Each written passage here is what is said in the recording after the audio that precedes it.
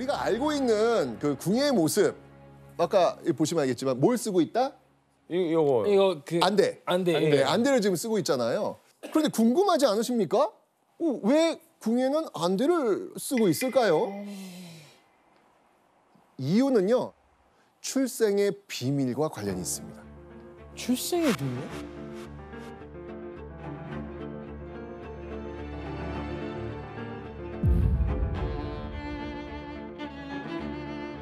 이 궁예가 태어났던 그날이었는데요. 굉장히 충격적인 일이 벌어졌습니다. 사실 이 궁예는요. 태어나자마자 이 쫓기는 운명이었거든요. 궁예가 태어나자마자요. 이 한 남자가 이 포대기에 쌓여있던 갓난아이 궁예를 탁 낚아채서요. 지붕으로 올라가 가지고 망설임 없이 그 지붕 밖으로 휙 던져버려요. 어?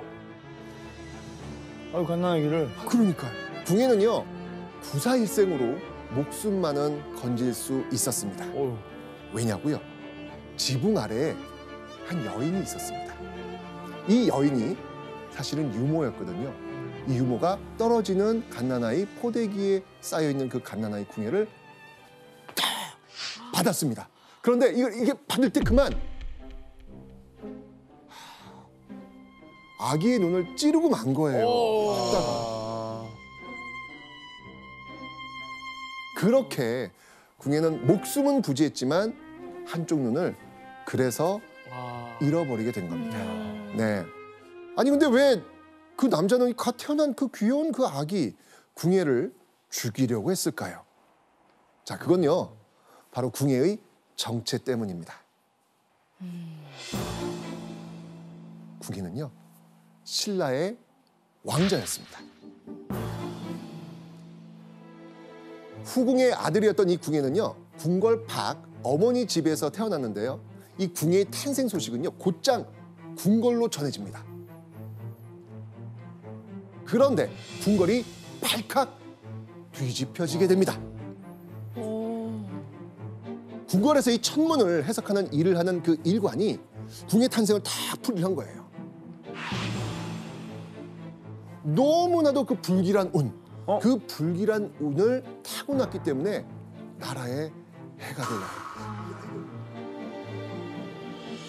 자, 왜 어떤 것이었길래 이렇게 아주 나쁘게 해석을 했을까? 음. 이유가 있습니다. 궁예가 태어나던 날에요. 일관이 아뢰기를 이 아이가 오자가 거듭 들어있는 날에 태어났고 나면서 치아가 있으며 또한 무지갯빛이 이상하였으니 기르지 마셔야 합니다. 라고 하였다. 오가 이제 양수예요. 양. 양과 양이 겹치기 때문에 양기가 굉장히 센 날이다. 어. 그런데 그런 날 아이가 태어나면 불길하다는 생각이 중국으로부터 있었고 그게 아마 전해졌던 것 같아요. 그래서 죽이라는 어, 이런 얘기가 나왔던 거고요.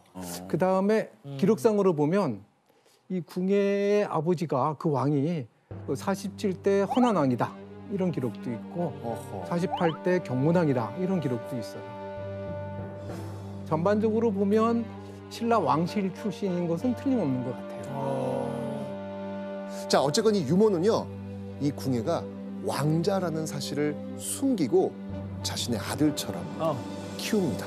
살리려고. 아이고야 자, 이 궁예와 유모가 도망친 후 10여 년이라는 세월이 흐릅니다. 그런데요, 하, 이 궁예가 너무 장난꾸러기야. 아이고야 사고 뭉치. 왜 이렇게 장난이 너무 심하니까, 근데 이게 심하니까 유모 입장에서는 어떨까요? 유모는 늘 불안했을 것 같아요. 어, 그렇지. 어쨌든 왕의 아들인 걸 숨기고 본인이 키우고 있었던 거잖아요. 그러니까요. 조마조마하지 않았어요? 네. 그런데 하, 너무 사고를 치고 많이 오는 거예요. 음. 그러니까 더 이상 더 이상 버틸 수가 없는 거예요. 그래가지고 정말 참고 참던 유모는요 어느 날 궁예를 딱 불러 앉혀놓고요 울면서 궁예에게 충격적인 이야기를 털어놓습니다.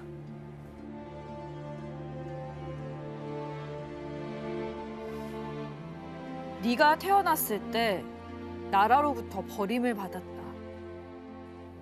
나는 이를 두고 보지 못하고 오늘까지 몰래 너를 키워놨다.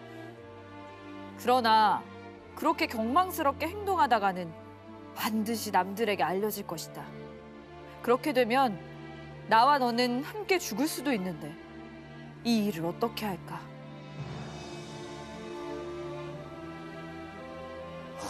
출생의 비밀을 털어 놓은 겁니다. 이 출생의 비밀을 들은 궁예는요, 그 길로요, 세 달사라는 절로 출가를 했습니다. 몇 살 때예요?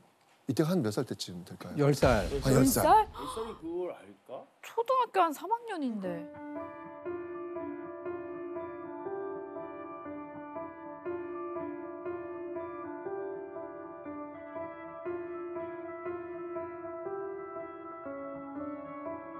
아, 절로 간 궁예는요, 스스로 이 머리를 깎고 속세의 이름도 버린 채 선종이라고 법명을 짓고 절에서 지내게 됩니다. 음.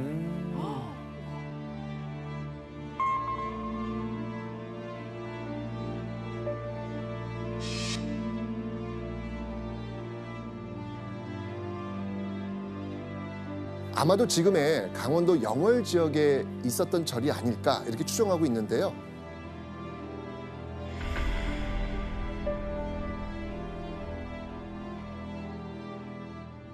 궁예는 승려 생활을 계속하고 수행을 할 생각이 있었던 것 같지는 않아요. 음. 나중에 기록을 보면 계율에 얽매이지 않았다. 아, 또 담력이 있었다.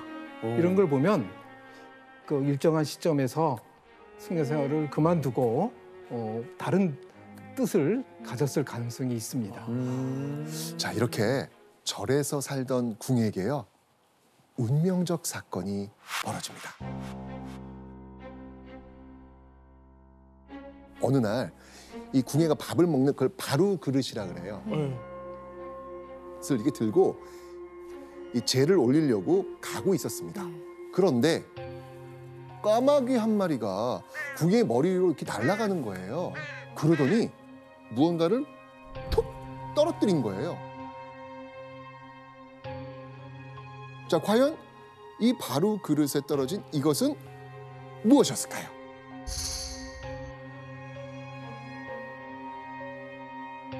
도현 씨뭘것 같아요? 음. 자, 제가 보여드리겠습니다. 네. 자, 여기 또 있습니다. 가져왔어요. 항상 궁금하시죠? 네네. 우와. 자, 이걸 열어보면 이게 떨어졌습니다.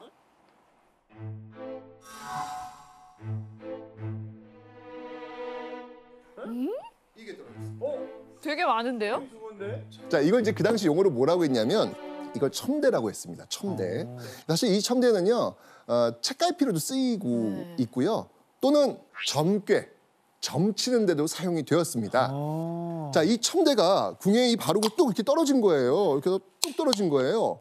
그런데 어, 여기 무슨 글씨가 써져 있는 거예요. 야. 뭐야 이거? 딱 봤는데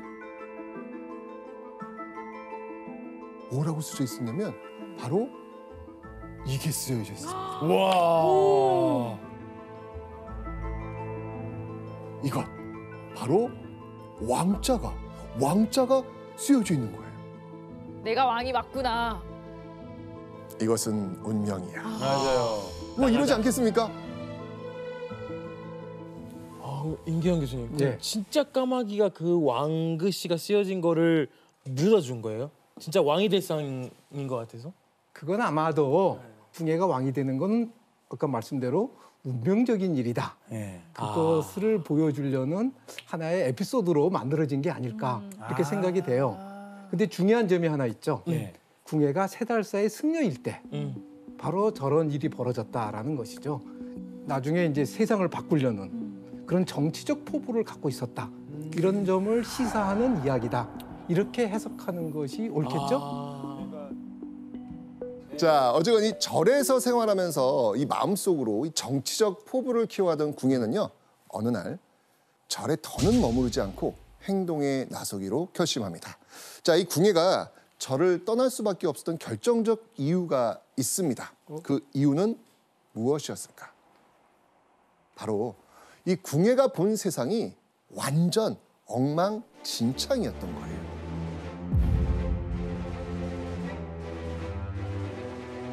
자, 사실 이 궁예가 세상을 정말 바꾸고 바로잡고 싶다라는 포부를 품었던 그때는요. 사실 통일신라 말기였고요. 이 당시는 대혼란의 시대였죠. 뭐 왕실은 뭐 사치와 향락에 빠져 있고 뭐 백성들도 제대로 돌보지 않으니까 국고는 뭐 텅텅 비게 되는 이런 상황. 그런 와중에 일부 귀족들은요. 노비를 3천 명, 3천 명이요? 3천 명. 심지어는요 귀족들 사이에 이런 사치까지 있었다고 합니다.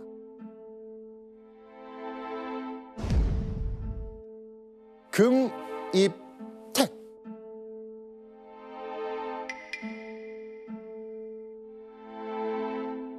바로 금을 입힌 집이에요. 금을 입힌 집. 상상이 되십니까? 골드하우스다. 아 그렇죠.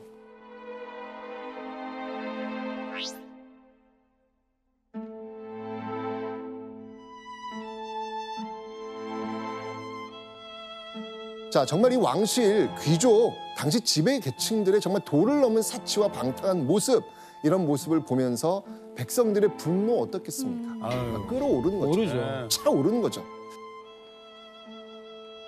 나라 안의 모든 주와 군에서 곡물과 부세를 보내지 않아 창고가 텅텅 비어 나라 재정이 궁핍해졌다. 왕이 사신을 보내 독촉하니 곳곳에서 도적이 벌떼처럼 일어났다.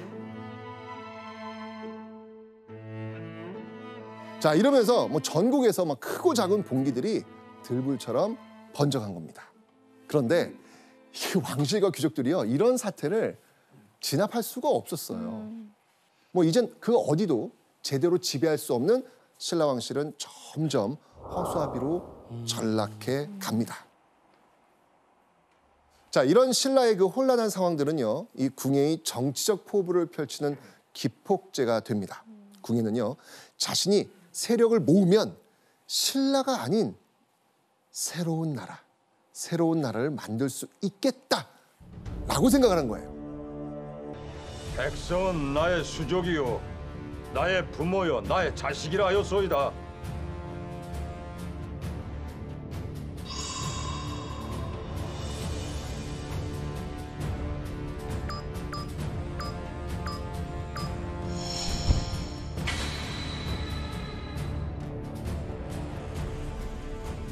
궁예는요 이렇게 싸우기도 하고 때론 회유도 하면서 그 세력을 점점 키워갑니다. 오, 다 먹었네. 동쪽 지방을 장악함에 달려온 궁예는요 이제 서쪽 지역으로 쭉쭉 진출합니다. 아. 자 여기가 지금 폐서지역.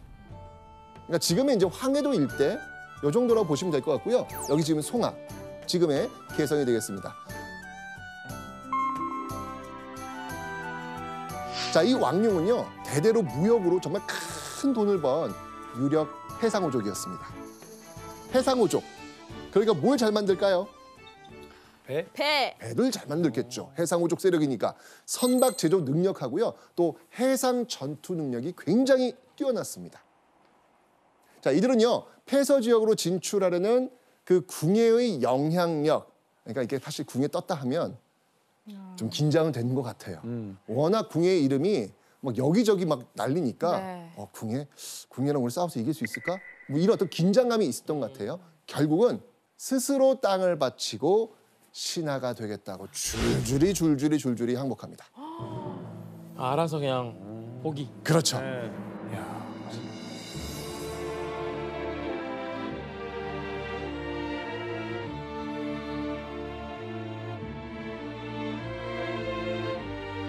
그런데 자, 이 서쪽 지역으로 진출하는 과정에서 궁의 인생에서 가장 중요한 인물을 만납니다.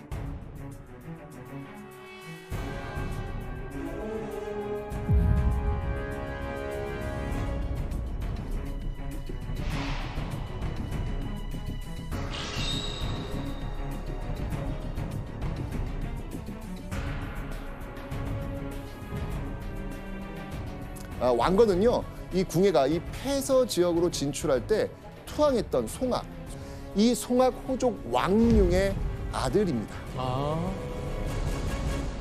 자, 이런 왕건의 모습은 당시 어떻게 묘사되었을지 고려사의 기록이 있거든요. 요 우리 예원 씨가 한번 읽어주시죠. 음. 그러니까 이름이 약간 잘생긴 이름이긴 해요. 왕건. 왕건 네. 어려서부터 총명하였으며 음.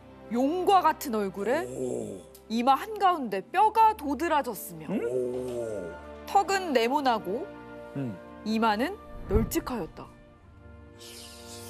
기세가 힘차고 깊었으며 말소리는 넓고도 컸다. 너그럽고 후하여 세상을 구제할 만한 도량이 있었다. 오 어허. 어. 약간 어떻습니까? 동현 씨 들어보니까. 느낌 어. 있는데요. 오 우리 동현 씨 얼굴과 좀 많이 비슷한. 최수종 씨하고는 거리가 멀죠. 네. 어, 그러니까. 거기 약간 느낌이 좀 네모난. 다른데요. 네. 네. 네, 엄청난 지금 칭찬인데 과연 이 궁예한테도 이런 왕건이 좋은 인상을 남겼을까요? 궁예는요 왕건에게 아주 중대한 일을 맡깁니다. 바로 자신이 세울 나라를 지키기 위한 성, 그 성을 쌓는 일을 맡기게 됩니다. 그래서 이 왕건은요 궁예의 성을 짓는 일을 아주 훌륭하게 해냅니다. 자 그런데요 이 궁에겐 마지막 관문이 있습니다. 바로 한강 중상류를 차지하는 거였죠.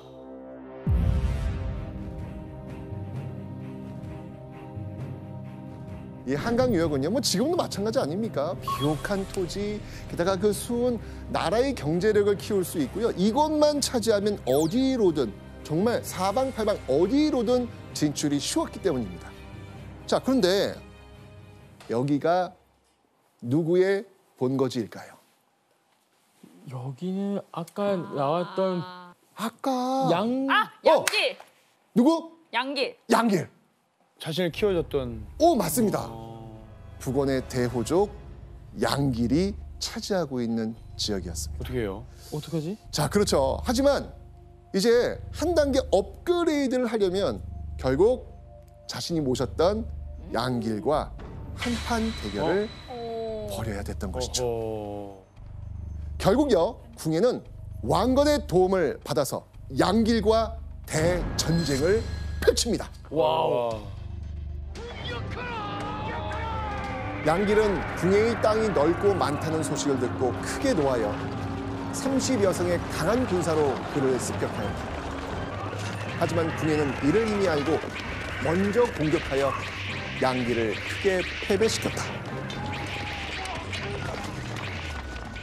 양길을 물리칩니다. 자, 그 기세를 몰아서요. 900년에 자신이 믿는 장수 왕건에게요. 경기도 남부와 충청도 지역까지 더 내려가라는 것이죠. 여기까지 점령으로 명령을 내립니다. 허허, 왕건 장난 아니에요. 예, 알겠습니다. 하고 그 임무를 완벽하게 수행합니다. 자, 결국요. 이 중부 지역을 장악한 궁예는요. 드디어 자신의 나라를 세웁니다. 901년. 궁예는 국호를 정하고 대외적으로 건국을 선포하죠. 와.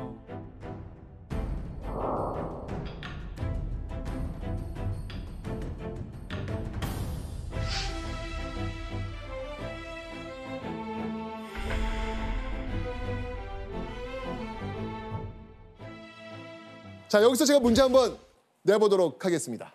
자, 문제 나갑니다. 901년 궁예가 세운 나라의 이름은 무엇일까요? 나라의 이름을 무엇이라고 정했을까요? 음. 이거는 뭐 글자 수라든지 뭐가 알려줘야지 감이 좀 있을 것 같은데요. 두 글자입니다. 아, 뭐 어, 예원 씨는 사실 네. 알고 있어요. 알고 있어. 네, 예원 씨는 알고 있습니다. 알아. 내가 알고 있다고요? 도전해 보시죠. 예원 씨 알고 있는 나라인데 이 저 나라. 지금 헷갈려요. 그래서 아하, 초성 한 개. 기억. 초성. 기억. 고려. 어디? 고려? 예원 씨? 정답. 아 바로 고려를 고려예요. 해버렸어요. 고려예요. 고려? 너무 쉽네. 고려 많이 들어봤어요. 아, 자, 우리가 보통 알고 있는 고려는요. 왕건이 세운 나라 이렇게 알고 있습니다. 그런데 그 왕건이 세운 고려 앞에서 궁예가 세운 나라 이름도 고려. 고려입니다. 아. 고려입니다. 아. 그러니까 일반적으로 교과서라든지 뭐 후고구려. 이런 데선 다 후고구려라고 얘기를 하고 있기 때문에 아마 지금 이 TV를 보시고 있는 시청자분들도 어 고개를 좀 갸우뚱 갸우뚱 하시면서 보실 겁니다. 자 그럼 이제 궁예는 아, 궁금합니다. 왜 나라 이름을 고려라고 지었을까요? 고려.